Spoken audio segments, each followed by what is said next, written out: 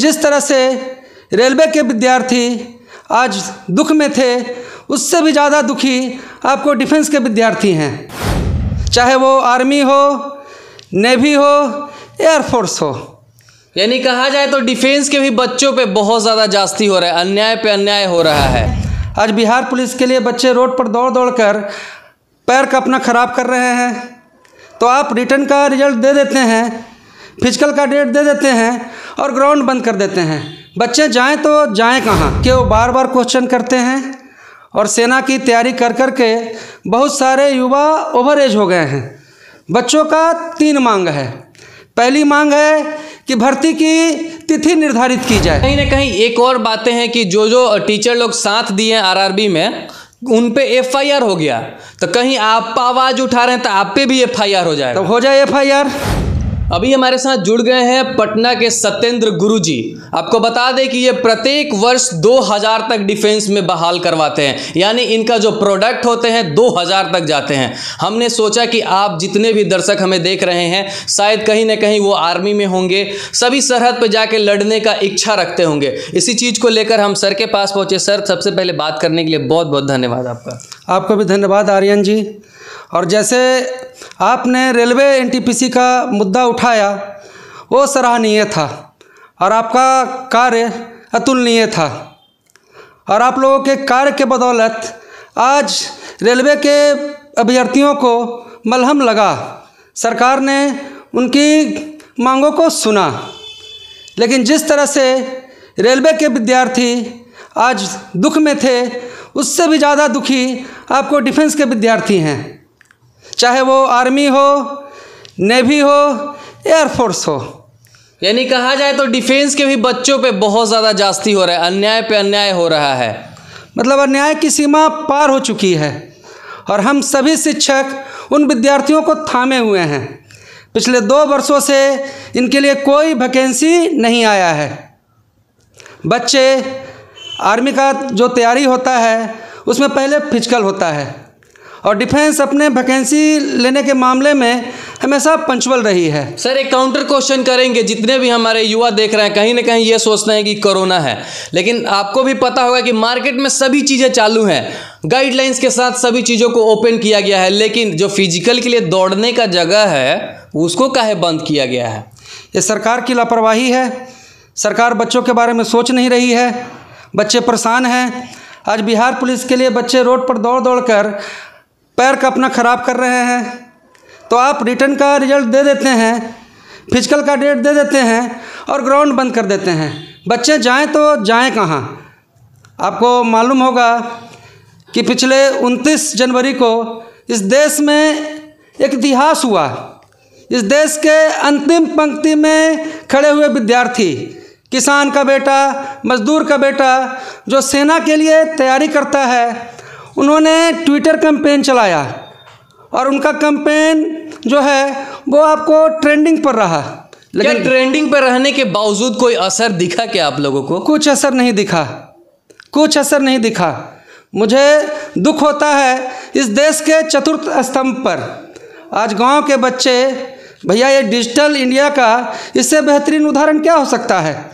कि एक गाँव का बच्चा एक किसान का बच्चा एक मजदूर का बच्चा आपको ट्विटर पर चीज़ को ट्रेंड करा रहा है शांति से अपने कहीं, कहीं अपने मांग को पूरा करने के लिए कोशिश कर रहा है यानी फिजिकली नहीं डिजिटली आपको बता दें कि आरआरबी एनटीपीसी वालों के साथ भी हुआ था करीबन एट मिलियन ट्वीट्स को डिलीट कर दिए गए थे सर तो क्या आपको लगता है कि इनके साथ भी अन्याय ही हो रहा है? इनके बात को नहीं सुना जा रहा है। कहीं ना कहीं आप एक गुरु हैं आपके यहाँ अंडर में काफ़ी ऐसे स्टूडेंट हैं जो पढ़ते होंगे आपके बातों को सुनते होंगे। तो कहीं ना कहीं आपसे वो तो क्वेश्चन भी अब करते होंगे। सर आप लगातार इतने दिन से पढ़ा रहे हैं अब हमारी ज़िंदगी कैसे चलेगी?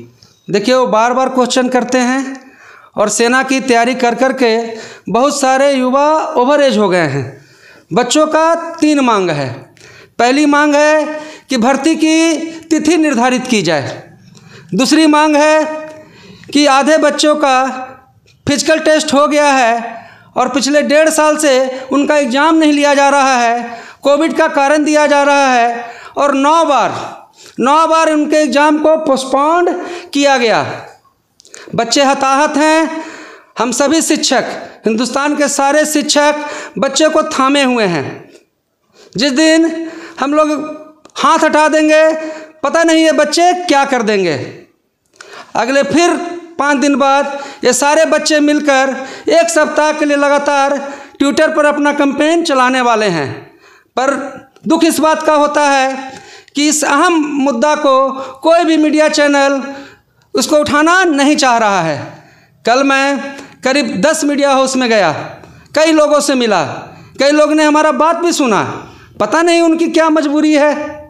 बच्चों का व्यथा कोई सुनने के लिए तैयार ही नहीं है। सबको लग रहा है कि नहीं, सिर्फ़ रेलवे में प्रॉब्लम है। दोस्तों, इस देश में अब सिर्फ़ रेलवे के अभ्यर्थियों के लिए प्रॉब्लम नहीं है। डिफेंस के अभ्यर्थियों के लिए भी प्रॉब्लम है। बैंकिंग वालों के लिए भी प्रॉब्लम है।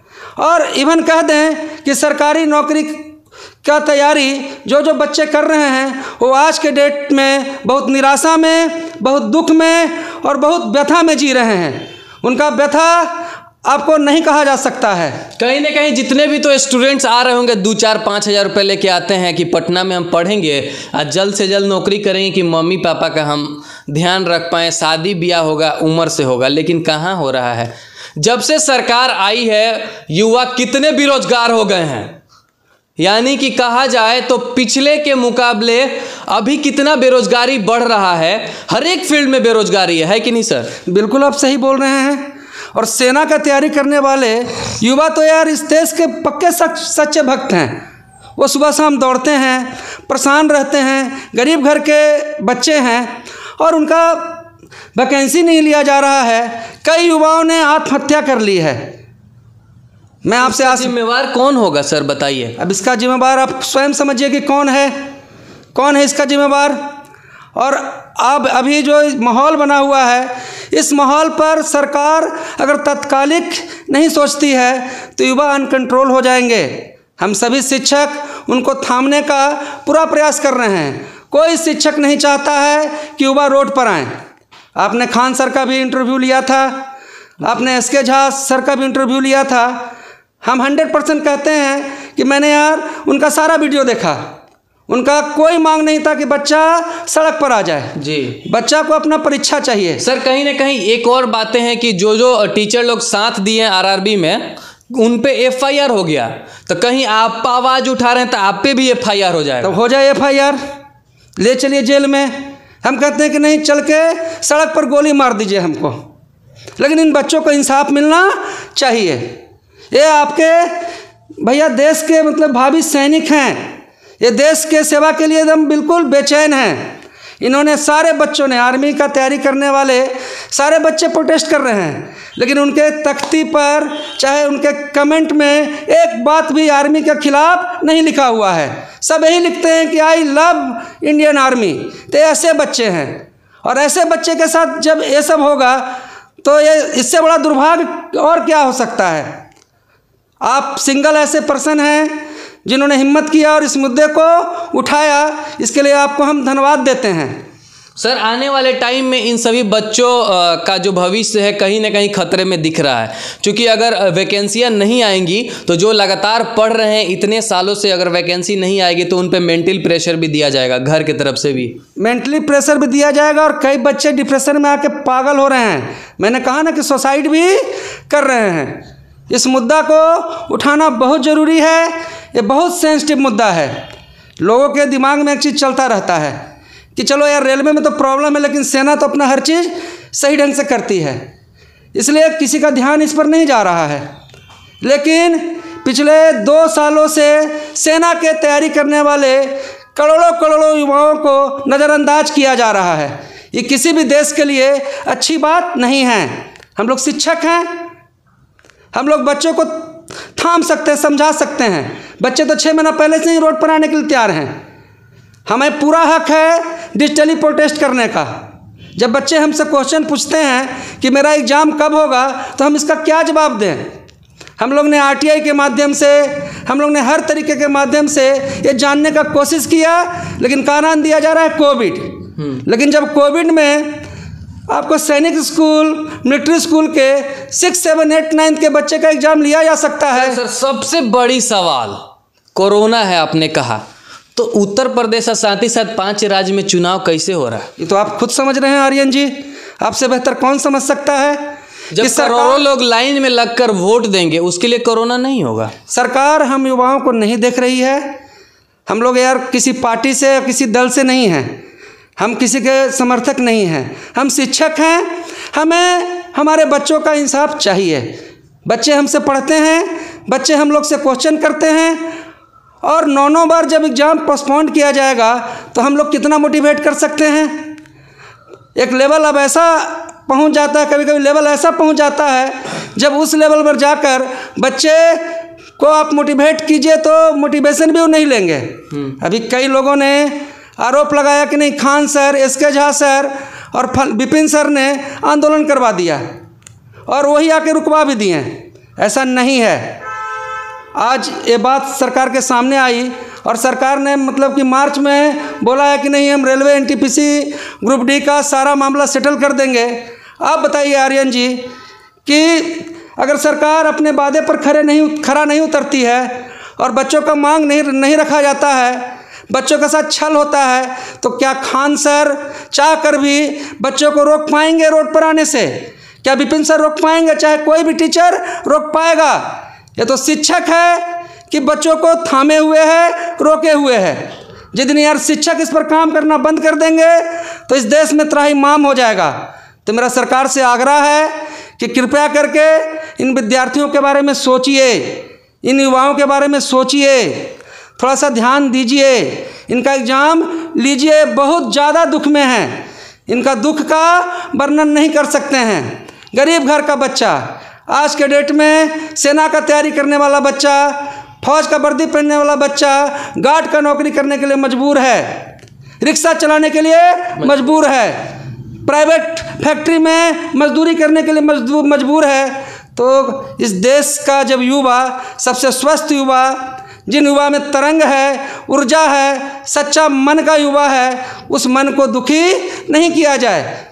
क्योंकि एक स्टूडेंट और एक टीचर का रिलेशन अलग ही लेवल का रिलेशन होता है। कहीं ना कहीं स्टूडेंट्स को प्रॉब्लम होता होगा तो आपसे ज़रूर शेयर करते होंगे कि सर ऐसे ऐसी समस्याएँ सामने आ रही हैं। जितने लोग भी हमें देख रहे हैं उनसे आप क्या अपील करना चाहते हैं? हम यही अपील करना चाहते हैं कि भाइयों समस्या केवल रेलवे एनटीपीसी में नहीं है। समस्या डिफेंस में भी है। समस्या आपको यार बैंकिंग में भी है और कहिए कि बेरोजगारी अपने चरम पर है। सरकार को इस पर ध्यान देना चाहिए। आप लोग इस बात को ज़्यादा से ज़्यादा ज़्यादा फैलाइए, लोगों तक पहुंचाइए। और आपसे भी आग्रह है कि आप पहले आदमी हैं जो इसमें हिम्मत किए हैं और हमने जो कोशिश किया तो आप हमारे पास आए तो आप कहीं भी जाते हैं, खान सर के पास जाते हैं, एस के झा सर के पास जाते हैं। आप कोई भी मंत्री के पास जाते हैं, कहीं भी जाते हैं, इस मुद्दा को आप ज़रूर रखिए, आपका बहुत भला होगा। देश जी सर आ, हम चाहते हैं कि जितने भी स्टूडेंट्स हमें देख रहे हैं एक बार इस वीडियो को शेयर कर दें। क्योंकि आपके घर में भी आ सकते हैं कि डिफेंस में जाने वाले बच्चे तैयार हो सकते हैं चाहे होंगे भी अभी अभी फ़िलहाल जितने भी लोग हमें देख रहे हैं चूँकि ज़रूरी नहीं है कि आप डिफेंस से आ रहे हैं बट आप इस वीडियो को एक बार ज़रूर शेयर करें। और साथ ही साथ आपको बता दें कि आर्यन मिश्रा आपके साथ हमेशा खड़ा रहेगा। जैसे हमेशा से खड़ा रहते आया है फ़िलहाल न्यूज़ लाइट के लिए मैं आर्यन मिश्रा आपके साथ। धन्यवाद।